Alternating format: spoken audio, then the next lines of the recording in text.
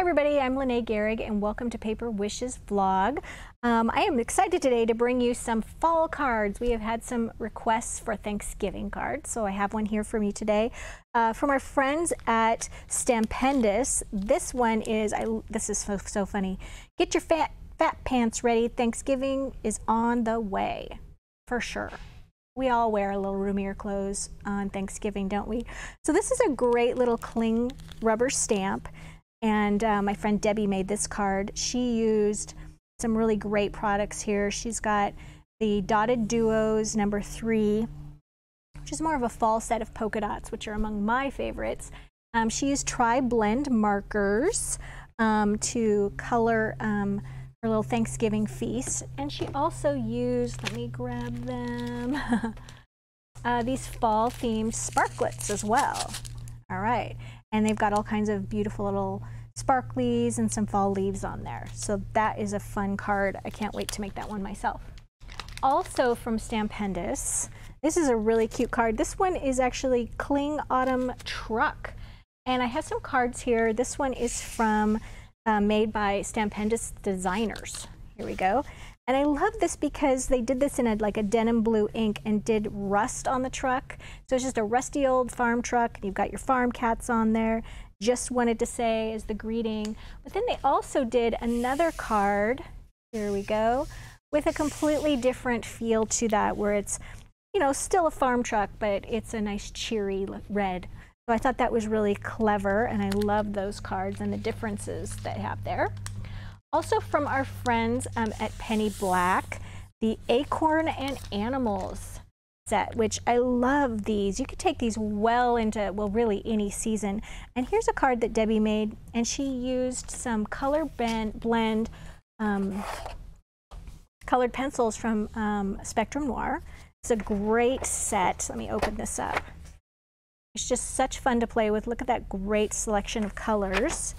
And um, so Debbie did some coloring um, just on a blank white card and she used some foam tape here to, after she cut out her little critters, she foam taped those. And once again, she used those fall sparklets on there. So that is a really fun card.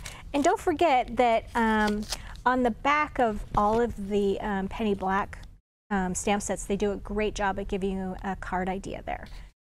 Um, oh, I should mention as well that she also, Debbie also used some copper um, jewel dazzles on there just for lots of sparkle.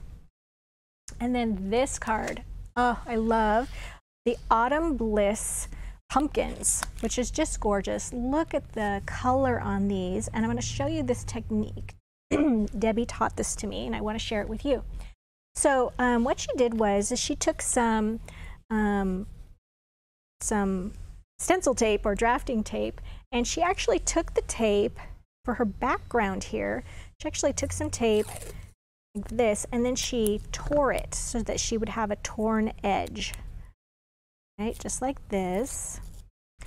And then she put that on her paper, okay?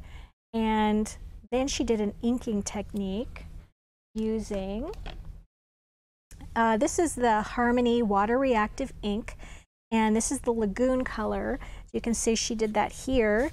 And then she also used the pine tree ink as well. And she used our new favorite ink blending brushes to achieve that. So let me show you um, how she did. She used a sort of medium size to a large size brush. Let me get out my craft sheet so as not to make a mess. All right, and she started off with that lagoon color, just pouncing that brush a little bit. And she, she went right onto the tape so that when the tape is removed, she's going to have that beautiful torn edge. There we go. And just continuously brushing that lovely color until we got down to the towards the bottom edge and that switched right into the pine tree color. And that just goes along the bottom edge.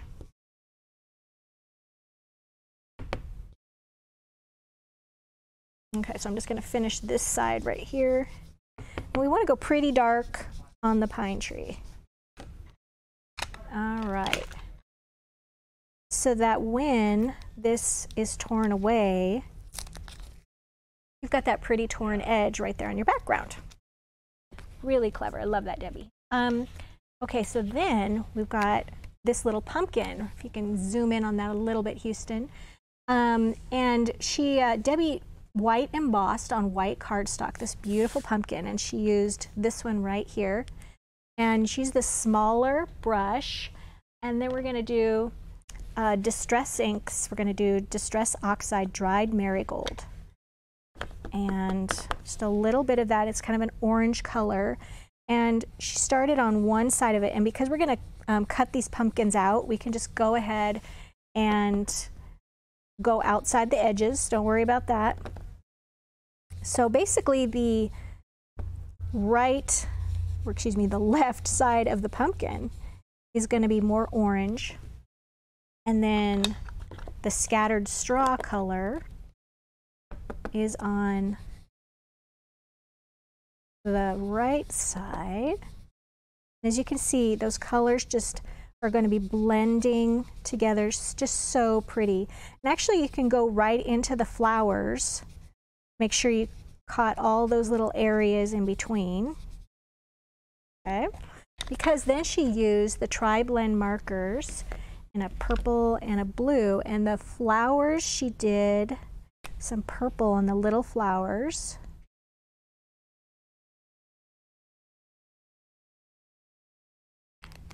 I'll do another one here. And you see that's just going to cover up any inking that got on the flowers. And then green for the stems. That. And I believe for the larger flowers, she used a coral color, which I didn't grab. So there you can see how that's done. So once again, beautiful card with the leaves. She just stamped those on cardstock and also used the tri-blend markers to color those. We have a great money saver on this for you today. Make sure you check that out so you can get all your fall cards done and you'll be all ready for Thanksgiving. Thanks for joining me today, and I'll see you next week.